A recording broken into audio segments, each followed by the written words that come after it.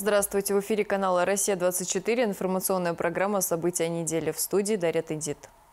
На этой неделе страна понесла невосполнимую утрату. На 71-м году ушел из жизни председатель Координационного центра мусульман Северного Кавказа муфти Карачаева-Черкесии, член Совета по взаимодействию с религиозными объединениями при президенте России Исмаил Хаджибердиев. Он умело выстраивал созидательный диалог между представителями различных конфессий, национальностей нашей страны и зарубежья. Проводить последний путь духовного лидера прибыли руководители регионов, муфтии северокавказских республик, представители различных органов власти и общественность. Подробнее о жизни и деятельности Исмаила Хаджибердиева Алихан Лепшоков.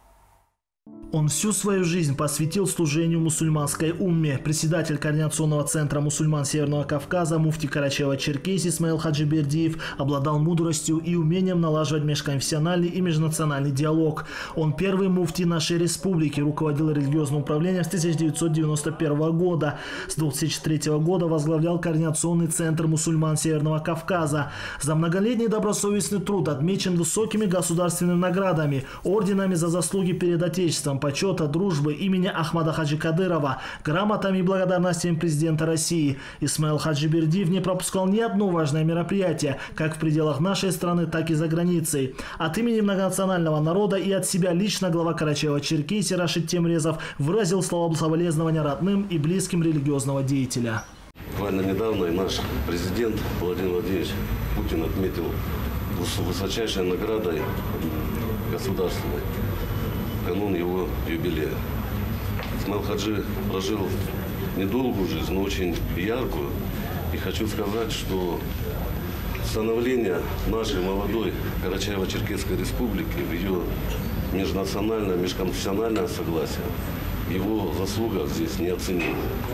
Поэтому мои искренние соболезнования а, не только родным и близким, а всем здесь присутствующим, всем нам, всей нашей э, республике. Почтить память Исмаила Хаджибердиева пришли родные, близкие, коллеги, представители администрации президента России, главы Чеченской республики Рамазан Кадыров и Кабардино-Балкарии Казбек Коков, муфти всех северокавказских республик, с которыми лидер духовенства вел многолетнюю дружбу. Собравшиеся отмечали, что он внес весомый вклад в сохранение духовно-нравственных ценностей и развитие ислама в России. Он всегда подчеркивал важность единства и взаимопонимания среди общества, создавая атмосферу уважения и сотрудничества.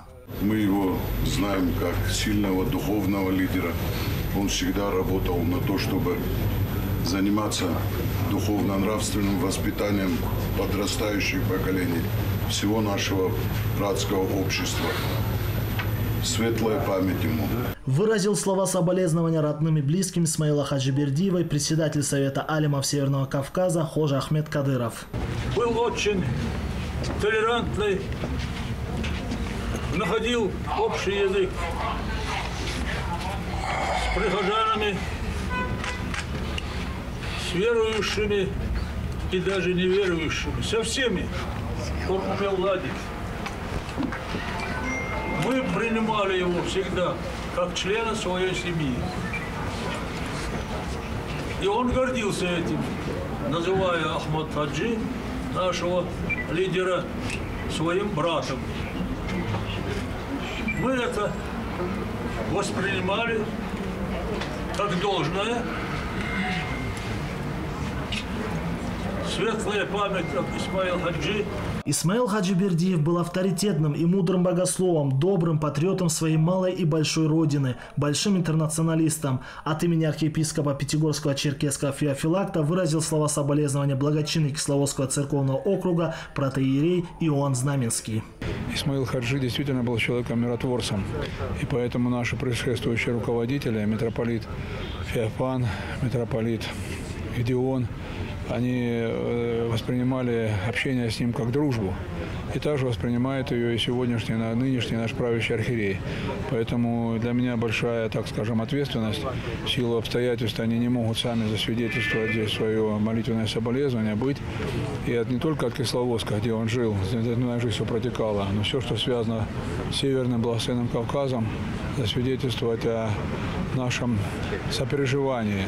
Для нас это невосполнимая потеря. Наш Исмаил Хаджи обладал нескончаемой энергией, которую он направлял на реализацию многочисленных проектов, как религиозное образование и укрепление духовных ценностей, отмечали муфти регионов СКФО. Сегодня ушел человек, который положил свою жизнь на этом поприще. Одна из таких черт этого человека – это была доброта. В такой ситуации, руководя таким регионом, мусульманами, во все тяжелейшие времена он не терял чувство справедливости и не терял то чувство доброты, которое в нем было. Оно притягивало людей. Вчера вечером, сегодня вот мы думали, я лично сидел, думал, он был не просто старшим товарищем, хотя мы были одногодки.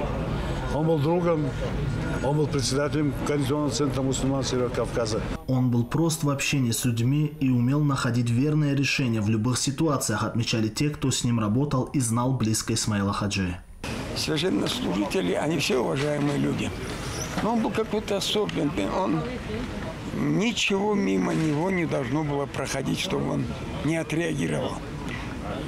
Горе людское, человеческое, радость, все его касалось. И он относился искренне и к горю любого человека, и к радости любого человека он как свое собственное принимал.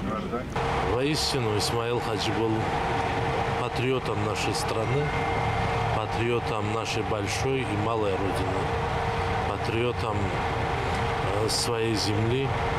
И поэтому труд Исмаила Хаджи трудно переоценить. Мы потеряли очень большого человека с большой буквы.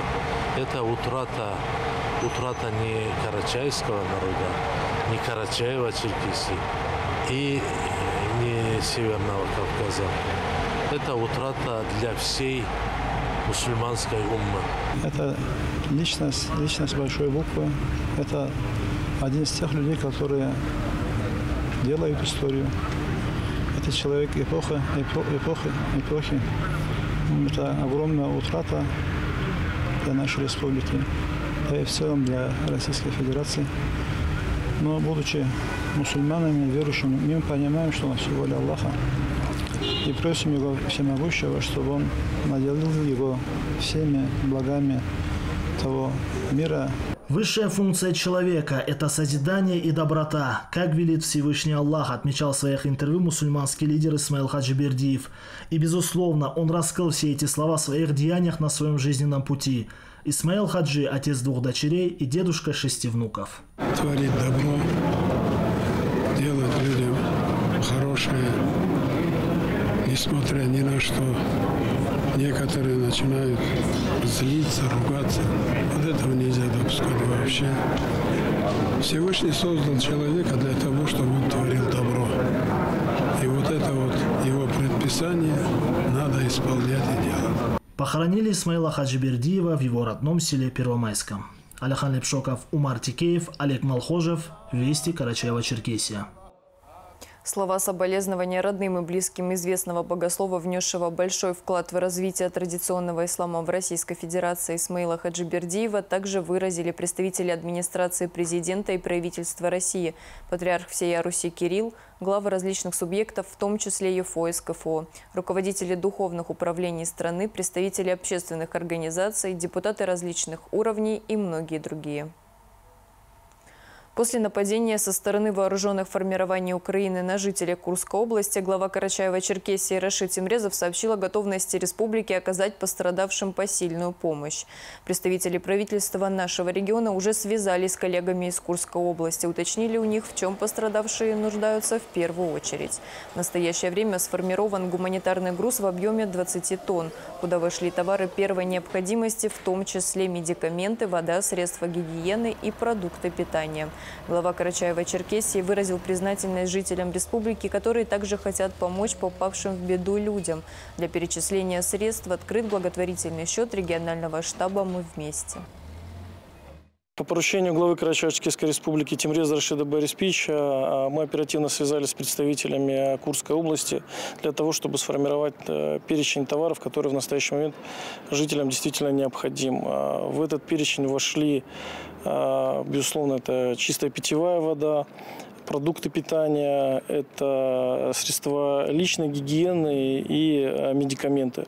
В настоящий момент мы оперативно все сформировали, э, уже идет погрузка, и в ближайшее время груз будет доставлен по назначению. А, если можно, общий объем груза?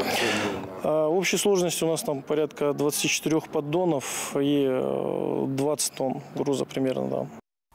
На этой неделе прошла внеочередная 60-я сессия депутатов регионального парламента шестого созыва. Само заседание прошло в онлайн-режиме. Депутатам предстояло утвердить ряд внесенных для обсуждений предложений. Теперь, если среднесписочная численность сотрудников на предприятии составляет более 100 человек, одно место должно быть зарезервировано для людей, которым сложно найти работу. Кроме того, внесены некоторые изменения в бюджет Карачаева-Черкесии. Это связано с увеличением поступлений. О некоторых нюансах нюансах рассказал министр финансов республики Вадим Камышан. Основные у нас изменения в данном законопроекте, конечно, направлены на э, поддержку семей участников специальной военной операции. То есть мы сейчас формируем резерв и по мере необходимости это основные изменения. Также у нас предусматриваются средства на послание э, нашего главы, которые были озвучены. Э, это в части поддержки семей, где дети от 6 и более детей. Это к 1 сентября будут выплаты. А, кроме того, мы увеличиваем объем средств на дополнительное качественное обеспечение, дорогостоящие э, препараты. Мы туда добавляем больше 100 миллионов рублей. Вот. Ну, это такие ключевые. Плюс, э, тоже, наверное, слышали, ремонт поликлиники у нас детской. Также предусматривают средства на э, реализацию этих мероприятий.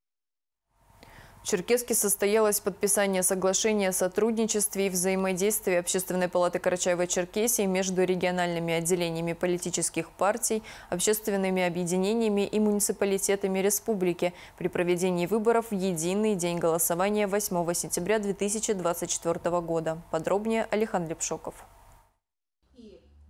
Это тесное взаимодействие позволит нам провести большую работу в единый день голосования. И я уверена, что каждый из нас несет свой вклад, что выборы прошли у нас без каких-либо нарушений, отметила председатель Общественной палаты Карачаева-Черкесии Елена Ляшова.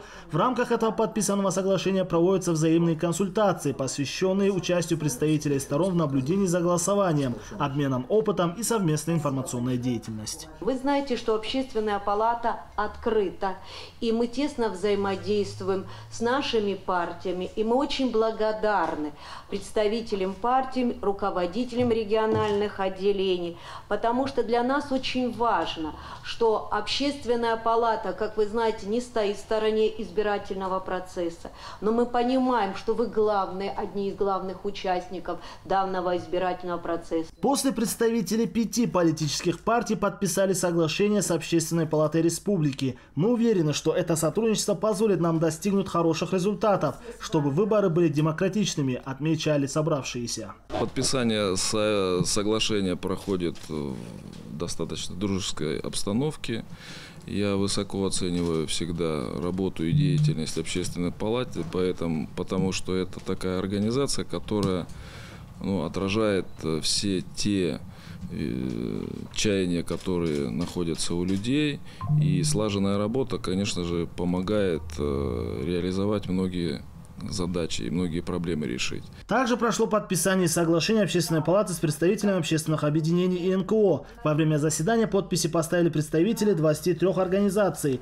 Только общими усилиями взаимодействия мы сможем обеспечить участием представителей гражданского общества в наблюдении за голосованием в выборах. 2 числа, 2 августа, член Совета при президенте Брод Александр Семенович проводил круглый стол. И он сказал о том, что 47 общественных организаций по России заключили вот такие соглашения с Общественной палатой России и назвал в числе первых Федерацию независимых профсоюзов России, потому что это самая многочисленная общественная организация, которая объединяет более 20 миллионов человек. Естественно, в республике тоже это самая многочисленная общественная организация. Помимо этого, подписали соглашение о сотрудничестве и взаимодействии между Общественной палатой и общественными советами муниципальных районов и городских округов. Алихан Лепшоков, Миха Каракелян, Вести Карачаева-Черкесия. Сегодня День строителя. Строителей и ветеранов отрасли с профессиональным праздником поздравляет глава Карачаева-Черкесии Рашид Тимрезов. Вы представители той профессии, плоды трудов которой может видеть и оценить каждый. Наша прекрасная Карачаева-Черкесия построена руками десятков поколений строителей, архитекторов, каменщиков, отделочников, которые работали, созидали во благо современников и потомков. Труд хорошего строителя на века. Именно таким должен быть девиз каждого причастного к этой отрасли строить так, чтобы в основательности и качестве постройки, реконструкции или реставрации не было сомнений. Это особенно важно сейчас, когда, несмотря на внешнеполитические и экономические сложности, наш регион и страна в целом не отступают от намеченного в рамках региональных и федеральных программ. Мы активно строим и реконструируем детские сады, школы, крупные спортивные объекты, парки отдыхов, дома культуры, жилищные комплексы, больницы и поликлиники, мосты и транспортную инфраструктуру. И нет в этом перечне чего-то более или менее значимого. Важно все. История не раз доказывала, что представители строительной отрасли этой сугубо мирной профессии порой совершают свой трудовой подвиг. Так отличились строители, которые восстанавливали нашу страну после Великой Отечественной войны. Нынешнему поколению Созидателей также предстоит внести свой вклад в восстановление и развитие новых регионов России. И нет сомнений, что работа эта будет проведена на достойном уровне. Искренне благодарю вас за ваш очень важный и ответственный труд. В поселках Ударный и Мичуринский Прикубанского района в рамках нацпроекта «Культура» и региональной программы «Культурная среда» идет капитальный ремонт ДК. На какой стадии работы в поселке, носящем имя советского селекционера Ивана Мичурина, расскажет Алла Динаева. В 2000 году СПК «Мичуринский» нам передали безвозмездное это здание. Мы произвели ремонт своими средствами, косметический ремонт, без замены окон, без полов – ну, состояние, конечно, было ужасное. А в конце июня этого года начали капитальный ремонт Дома культуры поселка Мичуринский и уже перекрыли кровлю здания, установили стеклопакеты, заменили электропроводку и провели часть отделочных работ в помещениях ДК. Будет фасад отремонтирован, и внутри будет везде установлена плитка, э, отопление новое, душевые кабинки, э, будет установлена сцена – Будет танцев... специальная танцевальная комната для детей, чтобы дети занимались, усовершенствовали свои навыки. И все эти работы строители планируют завершить к 1 сентября. Добросовестно учитывая все наши пожелания, трудятся они, говорит глава поселения. По благоустройству работы будут продолжены. Дорога, которая связывает центральную улицу СДК Мичуринский, протяженностью 100 мет... 140 метров, шириной 6 метров, будет асфальтирована. Будет еще установлена детская площадка для детей. А на днях завершили капитальный ремонт центральной улицы поселка Мичуринский протяженностью 800 метров. Заасфальтировали центральную дорогу. Как начиналась эта история? История начиналась с посещения администрации Прикубанского района. Был на приеме у главы Карачаева-Черкесии Рашида Борисовича Темрезова. Так как он мне обещал сделать дорогу центральную нашу, которая соединяет школу, несколько соцобъектов, школу, администрацию и наш клуб. В общем, он мне пообещал, и в итоге вот у нас есть дорога, и очень хорошая. И не только дорога, а необходимости уличного освещения в поселке и детской площадке, говорил на приеме главы республики житель Аслан Байрамуков. И на днях в поселке Мичуринский по поручению Рашида Тимрезова начнут работы по проведению отдельной электролинии для уличного освещения. Скоро появится и детская площадка. Как здесь вам живется? Хорошо. Дорогу вон нам построили, дорогу сделали за 10 дней, Аламат. Все хорошо. А юные жители поселка Мичуринский Амира и Марат охотно делятся своим мнением с нашей съемочной группой. Песок покрыл. Потом тут асфальт сделали. Потом все засохло. Вот теперь такая дорога. На велике катаешься здесь? Я да. А раньше кататься на велике здесь? Ну, немного трудновато было. А сейчас? Нормально. А не страшно машины тут? Нет? Мне нет. А еще в этом году в поселке полностью заменили водопровод протяженностью 14 километров. Алла Динаева, Али Бастанов, Вести, Крачева-Черкесия, поселок Мичуринский. С момента пришествия в Карачаево-Черкесию стихии, которая оставила после себя немало проблем ряду населенных пунктов, прошло больше двух месяцев. О том, как с ними справилась региональная столица, в сюжете корреспондента Артура Махце.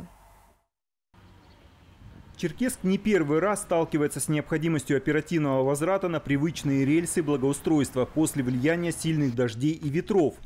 Снова заметно преображение дворов и улиц. Жители своими замечаниями также вносят лепту в облик родного города. Правда, есть то, что зависит в первую очередь от действий или бездействия обслуживающих организаций. Пришедшая в региональную столицу 31 мая текущего года непогода оставила после себя немало следов. От каких-то коммунальным службам избавиться уже удалось. Однако некоторые последствия града до сих пор представляют для людей опасность. Оставшиеся в оконных рамах некоторых многоэтажек стекла могут в любой момент упасть вниз. И хорошо, если в то время около дома никто не будет проходить. В противном случае беды не миновать.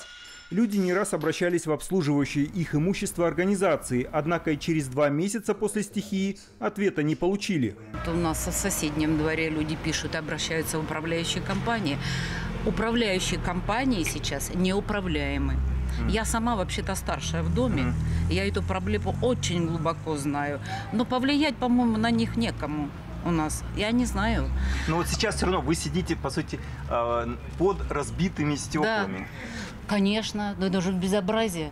Ну а кто? Это же управляющая, работа управляющей компании. Неужели нет никакого выхода из сложившейся ситуации или реакция от управляющих компаний на заявления людей поступит лишь после несчастных случаев? В городском управлении ЖКХ рассказали, как воздействовать на тех, кому жители доверили свое имущество. Жителям многоквартирных домов указанных необходимо обратиться в свою управляющую компанию.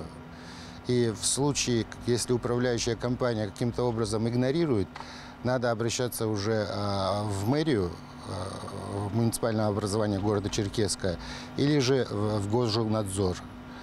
А те, в свою очередь, э, как бы будут выписаны предписания. Если управляющая компания не реагирует на эти предписания, а, предусмотрены санкции вплоть до того, что вот их могут даже лишить лицензии.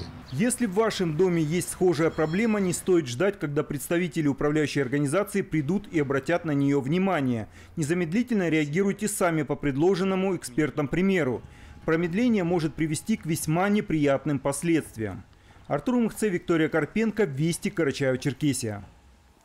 Летний день год кормит. На перевале Гумбаши прошел ставший уже традиционным конкурс косарей. Необычные состязания на стыке спортивного азарта и старинных народных промыслов уже не первый год организовывает администрация Карачаевского района. О победителях и призах в материале Ахмата Халкечева. И в этом году необычные состязания собрали 25 претендентов на звание лучшего в старинном ремесле. Место проведения состязаний в одном из оживленных туристических маршрутов выбрано не случайно. Ведь гости нашего региона должны увидеть, что здесь живет народ созидающий, говорят организаторы. Также они с удовлетворением отмечают, что конкурс начал приобретать черты профессиональных спортивных состязаний. Я слышу, что уже заказывают вот инвентарь с Москвы, потому что они же интересуются, я еще раз говорю, итальянские косы пошли, австрийские, у них металл, по-моему, какой-то другой. И вот я интересовался, говорят, совсем по-другому они косят. То есть э, молодежь интересуется. Сегодня не только там смартфоном, телефонами, чем-то еще, а косами, там, вилами, трудом. То есть это настоящий физический труд. Конкурс, хоть и называется районным, соревнования являются открытыми. Принять участие может любой желающий. Соответственно, с каждым годом растет не только количество участников, но и их мастерство.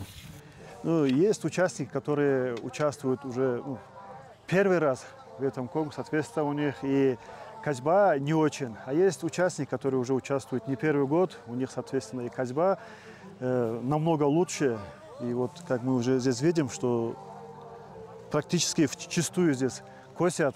И есть э, участники, которые уже вот в ноздря в ноздрю идут. Это представители вот Верхней Мары и Нижней Тиберды. Территорию одного гектара с четвертью специальная комиссия разбила на участки по 7 соток. Ну а кому какой достанется, конкурсанты определяли путем жеребьевки.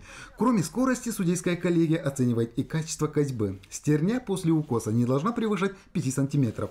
А волоки должны быть максимально ровные и недопустимо под ними оставлять нескошенной травы. По итогам аналитики экспертов, серебро состязаний и денежный приз 50 тысяч рублей достался жителю аула Нижняя Мара Энверу Лепшокову. Третье место и 25 тысяч рублей забрал житель аула Учкулан Хазыр Барлаков. Ну а лучшим косарем 2024 года признан житель аула Верхняя Мара Аслан Хачиров. Победителю вручили денежный приз 100 тысяч рублей. Честно сказать, э, трудно было. Вот, и место попалось такое, э, трава тоже жесткая была. И по завершению соревнований гости и участники еще долго не хотели расходиться. Ну а праздничное настроение мероприятия поддерживала разнообразная концертно-развлекательная программа, а также гостям праздника продемонстрировали традиционное гостеприимство, угостив блюдами национальной кухни. Ахмад Халкечев, Олег Малхожев, Вести Карачаева-Черкесия, Карачаевский район, Перевал Гумбаши. Карачаево-Черкесия не первый раз принимает у себя крупный спортивный турнир. В спорткомплексе «Юбилейном» представители более чем трех десятков регионов приняли участие во всероссийском отборочном соревновании по тэквондо. За перипетиями борьбы наблюдал корреспондент Артур Мхце. 328 человек из 34 регионов стали участниками всероссийского турнира по тэквондо, который прошел в стенах спорткомплекса «Юбилейный». Состязания в Черкеске являются отборочными на чемпионат, который пройдет в конце этого года. В числе почетных гостей президент Союза тэквондо России Анатолий Терехов, начальники региональных федераций по этому виду спорта, представители спортивных ведомств. Эти соревнования проходят уже традиционно. Э, и также по традиции э, на данные соревнования приезжает достаточно большое количество спортсменов, которые уже имеют э, статус победителей и первенств чемпионатов э, Российской Федерации, победители и призеры первенств международных соревнований Европы, э, спортсмены, которые являются членами сборной команды Российской Федерации. Хозяева турнира на Кубок руководителя Всероссийского союза тэквондо не без основания рассчитывали на успех в отдельных весовых категориях, поскольку имеет в составе сборной несколько победителей и призеров крупных соревнований – Среди них медалист прошлогоднего чемпионата Амина Хутова, рассказавшая о том, почему выбрала именно эту дисциплину. Моя одноклассница тренировалась, занималась тэквондо.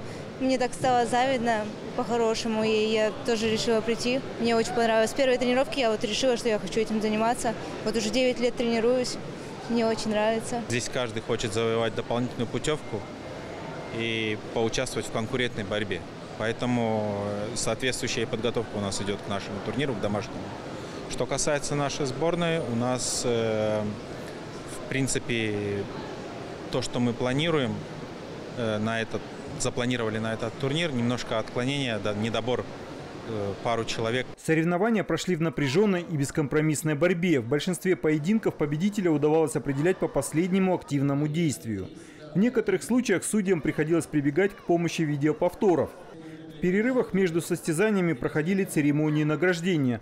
Самыми счастливыми в такие моменты были, разумеется, золотые медалисты, которые вместе со статусом победителя получали путевку на главный турнир – ноябрьский чемпионат России по тэквондо. Артур Мухце, Михаил Каракелян, Вести, Карачаево-Черкесия. Такими событиями отмечена уходящая неделя. Всего вам доброго и до встречи.